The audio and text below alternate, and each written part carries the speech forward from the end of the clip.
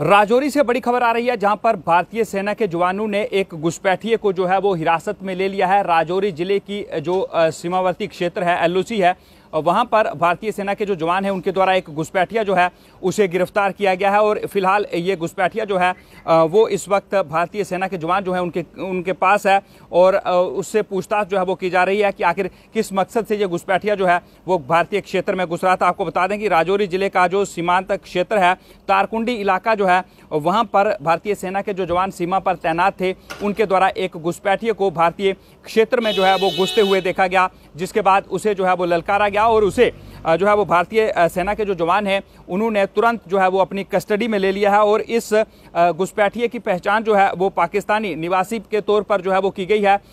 Pakistan occupied Kashmir जो है वहाँ की ये रहने वाला है, जिसका नाम मोहम्मद उस्मान जो है वो बताया जा रहा है और ये कोटली डिस्ट्रिक्ट केरला जो विलेज है, वहाँ का ये घुसपैठिया जो है वो रहने वाला है, जो भारतीय क्षेत्र में जो है वो प्रवेश कर चुका था। और आपको यह भी बता दें कि अभी इसके पास से क्या जो है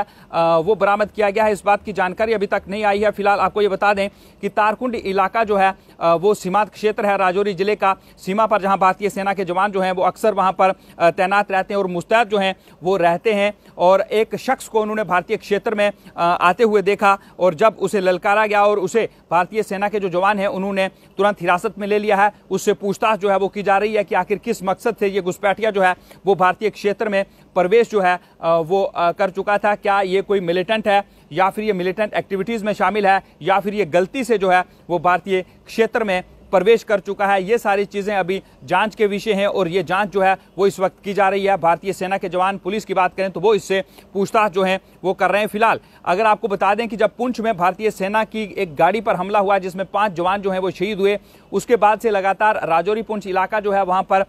जो चौकसी है वो बढ़ा दी गई है। भारतीय सेना हो पुलिस हो पैरामिलिट्री फोर्सेज हों, वो लगातार वहाँ पर मुस्तैद थी और इसके साथ साथ उसके बाद एक राजौरी के कंडी इलाके में इनकाउंटर होता है, जहाँ पर और भारतीय सेना के पाँच जवान जो है वो शहीद होते हैं और उसके बाद लगातार राजौरी पुंछ इलाके में जो है वो हाई अलर्ट जारी किया गया था। पूरे इलाके को हाई अलर्ट पर रखा गया है। जगह जगह नाके जो है वो लगाए जा रहे हैं। हर आने जाने वाले व्यक्ति की तलाश जो है